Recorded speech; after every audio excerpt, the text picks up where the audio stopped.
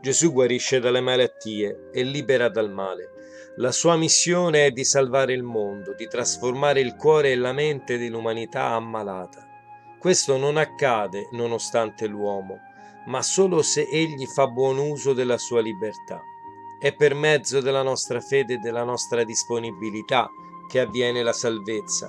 Ogni miracolo raccontato dai Vangeli ha queste caratteristiche si compie allorquando l'uomo porta qualcosa, che sia la sua fede, la sua disponibilità, i suoi beni materiali. Se vogliamo possiamo guarire soprattutto dalla malattia più pericolosa, l'infelicità.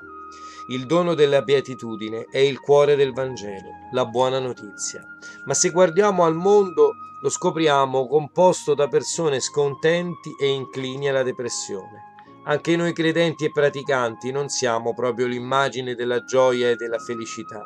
E le nostre comunità cristiane spesso teatrini di false felicità che nascondono sofferenze infinite.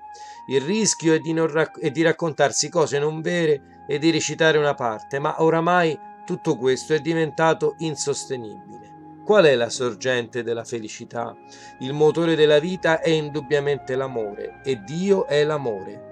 Decidersi per Dio è una scelta che va compiuta e rinnovata quotidianamente e non deve mai essere data per scontata.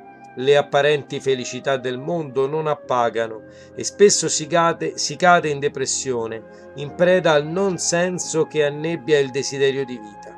Anche questa è una lebbra che va consumando la carne interiore, la vita, dilaniandola e facendola marcire. La redenzione è l'offerta di trasformazione dell'esistenza. Si tratta di elevare la vita facendole scoprire la dimensione spirituale, vivendola in pienezza, senza lasciare parti atrofizzate. Scegliere Dio significa amare, perché solo l'amore ci permette di dilatare l'anima e di farla progredire, sapendo che le sue potenzialità sono infinitamente maggiori di quanto possiamo immaginare non risparmianti in nulla, ama, compiendo con gioia la volontà di Dio.